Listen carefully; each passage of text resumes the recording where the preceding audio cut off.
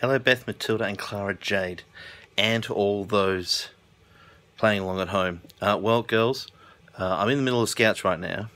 Sean is scouting away. Uh, I am not. My new computer is nearly here. I tried to do a goodnight message earlier, but I was full of grumpy. Like, me, me, me, me, me, today, me, me, me, me, behaviour, me, me, me, me, me, this, me, me, me, me, eat your grains. Um, that's not what good night is. So good night is I love you very much.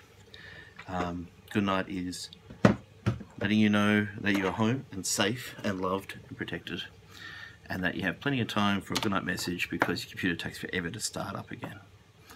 Um,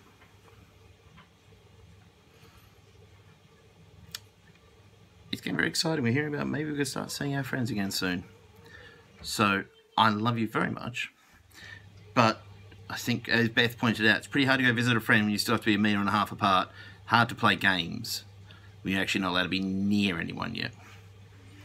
Um, but it's getting closer soon. Probably. Um, tonight is Scouts. I'll say goodnight after Scouts. Tomorrow is Joey's. That was his busy night too. And then we get Friday. But at least today we went down to the beach. Saw the sand, walked on it, learned how to try to skip rocks. And that's all cool and fun. Uh, I love you. And have a great sleep. And that's for my girls and for everybody out there who's also playing along at home.